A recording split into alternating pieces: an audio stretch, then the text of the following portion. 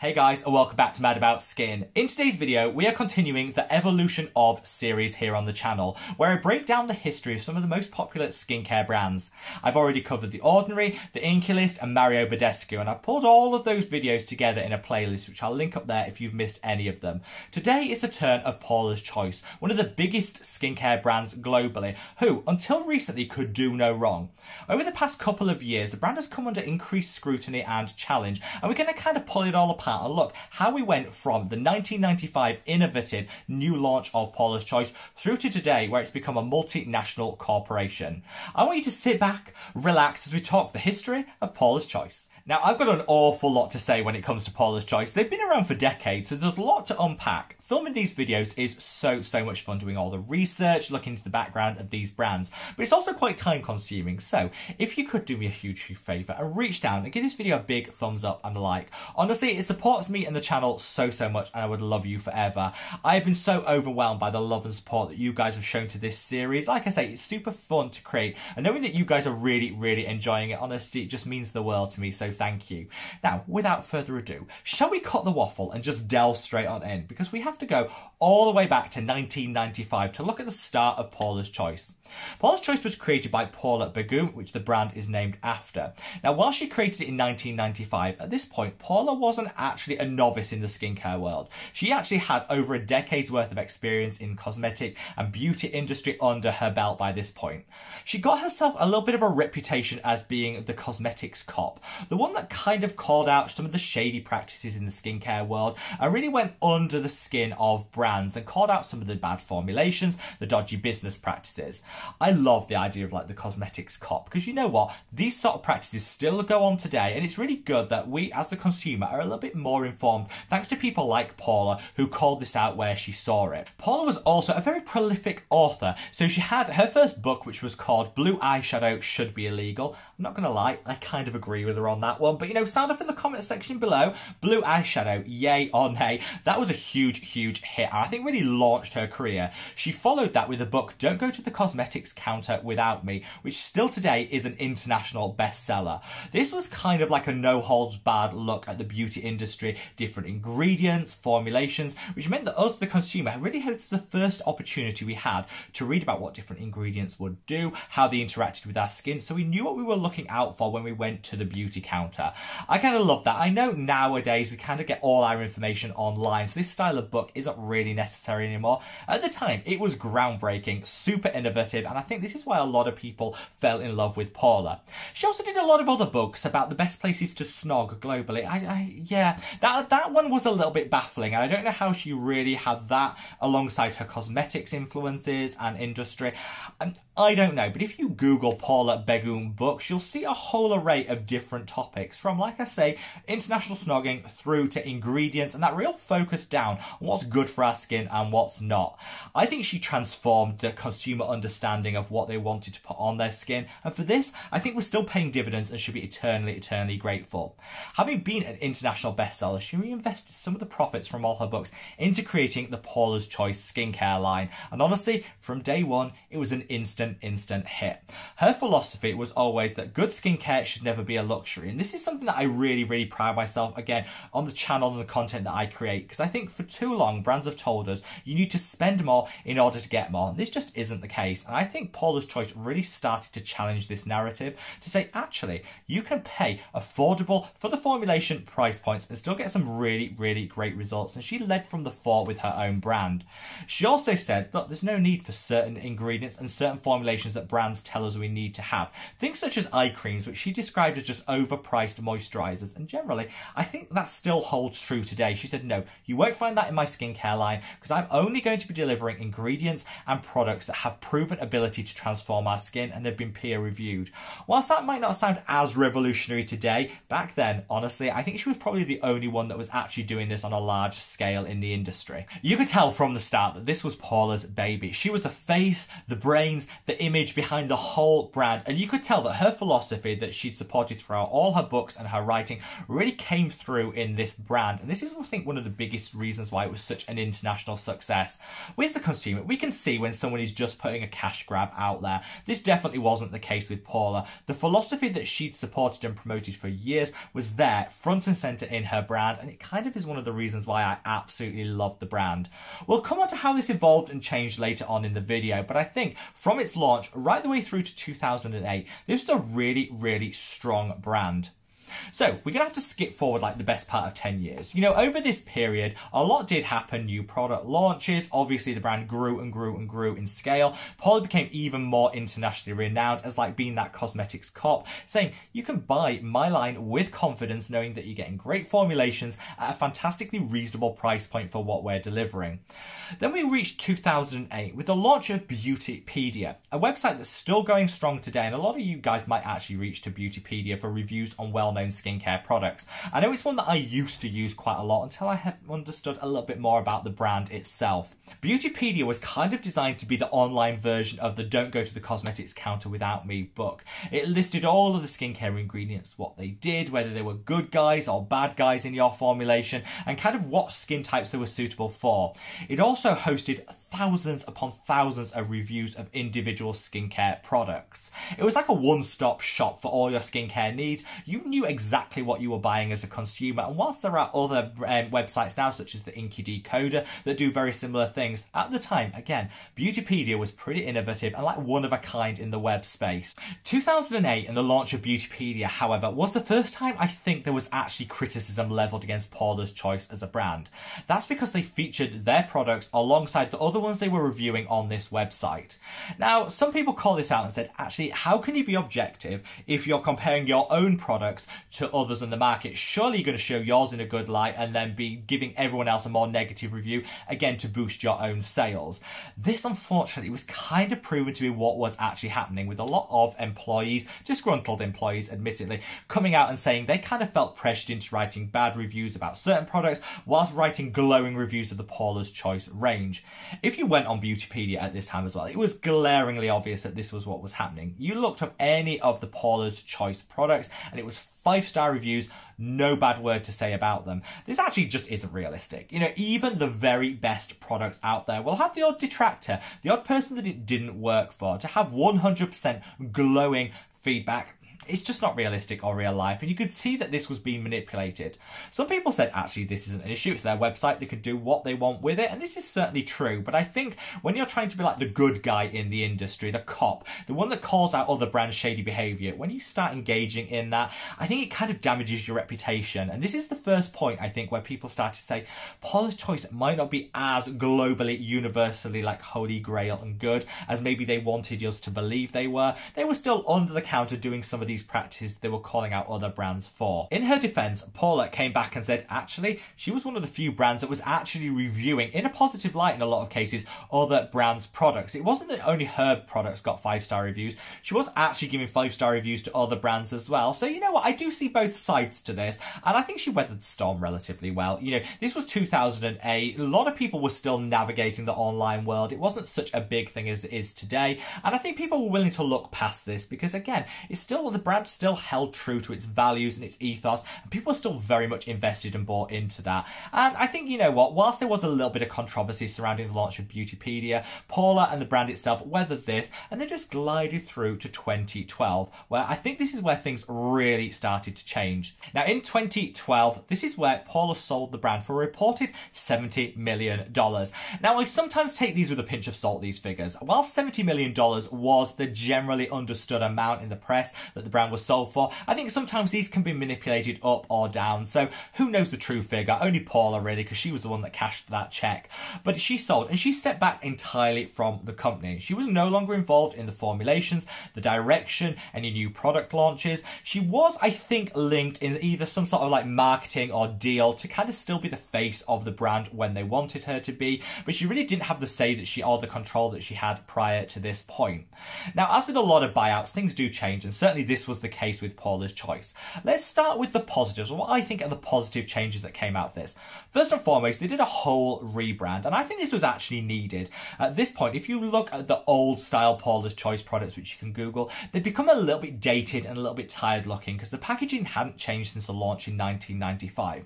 Obviously, tastes, printing had all evolved since then, so I think the more streamlined, sleek look of the products that the buyout actually created, you know what, I think was to the brand's credit, and certainly people started to pay more attention. New followers of the brand were found, attracted by this sleek new packaging design. Unfortunately, I think that's pretty much where the positives end, and actually a lot of things started to change at this point. First and foremost was the price. So Paula had always said, you know, drugstore is where it's at when it comes to skincare. That doesn't mean like rock bottom pricing, but a fair price point for the formulation that the brand is offering. And I think to this point, it was undeniable that with a really good, gorgeously formulated product, Paula's Choice was available at a really accessible price point. This changed, and over the next four years, the price rose on average 35%. That's a pretty significant jump. This again takes us through to 2016 when the big change happened. So this was actually sold again for a reported $280 million. So over that period of time, the popularity, the growth of the brand had allowed it to evolve and certainly be sold for a higher price point to a brand named TA Associates. This is where things really, really took, in my view, a negative turn. So they said, okay, we've got this new brand, we've paid top dollar for it, and we want to get every last bit of profit out there. And they decided that they were going to do away with the original founding philosophies of Paula herself. You know, some people said enough time had elapsed from the foundation. Paula was no longer involved in the brand, it just had her name. And actually, very few people at this point, according to the brand itself, knew who Paula was. I don't know how truthful that is. You know, she still had a cult following of hardcore fan base. I think since the rebrand that happened a couple of years earlier, there was a lot of new followers that knew Paula's Choice as a brand, but maybe didn't know the founder Paula or her original philosophy. This might ring true, but they said because so few, few people actually knew who Paula was at this point, they could kind of do away with some of the original philosophies and just really use the brand to maximize profit and deliver what the consumer wants. So they set about transforming the brand. They did another little rebranding tweak to the look and the image of the products, but they started to increase the number of products available. And honestly, they did this at speed. I think the thing that alarmed most people, at least the hardcore Holy Grail cult followers of the brand, was that they introduced an eye cream. Now, this might not seem like totally revolutionary. Most brands have an eye cream, but Paula was so anti eye creams, just decrying them as being overpriced moisturizers, that the fact that this TA Associates launched an eye cream as one of the first products after their buyout really shocked a lot of people, and I think signified that they completely severed the ties with the original philosophy of Paula and the real original ethos of the brand itself. The eye cream also wasn't that great. It kind of was just an overpriced moisturizer, which again, I think fed into this narrative that things were really changing at a quick pace. They also introduced mineral oil into a lot of their products, which Paula again was really quite against in her original writings and her original work, said that really mineral oil was problematic for so many different skin types. It really wasn't worth as an ingredient including in skincare. Well, it's cheap to formulate with, and TA Associates thought, you know what, most people don't care that much about uh, mineral oil. Let's put it in there and just, you know, hope that nobody really notices. And people didn't. Sales continued to grow and grow and grow. Unfortunately, so did the price point. Having just gone up by 35% over a period of four years, the price increase escalated yet further. Over the next four years, TA Associates increased the average price point of one of the Paula's Choice products by 40%. So at this point, we've practically doubled the cost when you look at like six or seven years ago. This led a lot of people to say, is this actually value for money? Uh, this is at the point I really started to look at Paula's Choice and think, yeah, this is pretty pricey as a brand. And then when you look back to what the original price point was, I think that shows into sharp relief uh, just how many increases there've been. They also shrunk the size of a lot of products. Now, shrinkflation, I think, is the correct economic term for this. It's something that a lot of brands do. Normally, they keep the price the same, but shrink the size of the product, so you're getting less for that same price point. It's kind of the same as a price increase, but it looks less noticeable to us, the consumer, because we pay a lot more attention to price and less to the amount of fluid ounces or whatever that you're actually getting of the product. Now, Paula's Choice actually did both. Increase the price, minimize the, shrink the size of the product. This pretty shady, honestly, and I don't know any other brands that really do this. They kind of do one or the other. Paula's Choice thought, no, let's rinse every last dime and dollar of profit that we can get out of this. And this was clearly TA Associates' approach. They also launched so many new products at this point. It grew and grew and grew. I think prior to the buyout, Paula's Choice had four different cleansers. This is quite normal. Your different cleansers work differently on different skin types, and they had a nice range of formulations to suit everybody. This increased to 30 seven. Now that's thinking, at this point, 37 different cleansers. Now, different ones were available in different markets, so it wasn't that you could get your hands on all 37 of them, but this is a massive, massive increase. And honestly, I don't think there was a whole lot of difference between each of the formulations to really justify this. Paula herself always said that skincare should kind of be simple, easy to understand, and there is nothing simplistic about having to navigate your way through 37 different cleansers to work out which is the right one for you. They all had different price points, they all had different packages packaging, they had different names. It was totally, totally baffling and confusing. But like I say, I think TA Associates had decided that so few people actually knew who Paula, the brand, was named after at this point, it really didn't matter. Let's just rinse every last bit of profit that we can get out of it. And they weren't really focused down on the quality of the formulations. A lot of people still continued to buy Paula's Choice because the original products hadn't changed a whole lot. So the old Holy Grails were still Holy Grails for a lot of people, including the now infamous Paula's Choice Skin Perfecting liquid exfoliant, which hadn't changed in like a decade and people still adored. We then moved to 2020, where things went crazy. This is where YouTube and then subsequently TikTok really just propelled the brand into like the stratosphere in terms of its sales. So many influencers really, really latched onto the brand and how amazing they thought it was for the skin. This was actually deliberate. TA Associates said, we're wanting to work more with influencers. We think this is the direction that marketing and promotion is going in. And we're going to send all of our products to all these influencers, pay for sponsorship to really get the brand name out there. They did again another small tweak to the range and to the look of the products to really appeal to a younger demographic. Prior to this point, I think the average Paula's Choice consumer was a lady in her 30s, 40s, and 50s. They wanted to shrink that down. They wanted it to be more gender neutral so that guys would buy at the same rate as girls. They launched a Paula's Choice men's collection and they really wanted to shrink the demographic age down. They appealed to the teens, to the 20s, and this was really, really apparent in the influencer marketing they did around this point. Also, somebody has to pay for all this advertising and sponsorship that they were doing. So again, the price point went up again by around 15 to 20% in this thing. I agree, you know, capitalize on your success when you have it. But again, just rinsing the consumer for another extra coin, extra dollar seems really tacky at this point. And this is why in certain countries, particularly here in the UK, where the Paula's Choice is much more expensive than say in North America, you look at these products, they're just not worth that price point. They also did something that Paula said she would never, never do, and that's start to have discounts and sales. This is something that a lot of brands do do. They hike the price point of their products up so much, and then when they think, ooh, people are getting a little wise to this, oh, let's do a coupon code, let's do a sale. This is definitely something that was seen more in the US than here in Europe, but definitely every so often they'll do a sale to kind of just bring that price point down.